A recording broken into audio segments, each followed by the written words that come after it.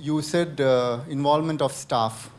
I was very, uh, I mean, I, I, would like to know did you peg it into their performance uh, system or something to make it tangible and you know there's an incentive associated with it because we always find that you know you can do a lot of training you can do a lot of uh, this thing but always the end of the day everybody asks what is it uh, you know what's in it for me uh, from an employee and a staff perspective okay so yeah for the first question um, don't quote me we have it in the report but it's about 50% that have more than one certification uh, a lot of that is because uh, 14,001 is very common for the environmental side that's needed, and then you can tax them on top. Also, uh, for example, if a facility is LEED certified, it's very easy to get ASTM certified on top of that.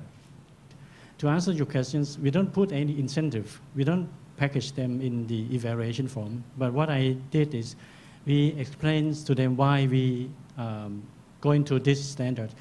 Many, many questions from my staff uh, asking, are we uh, getting more benefit from implementing this standard to our business?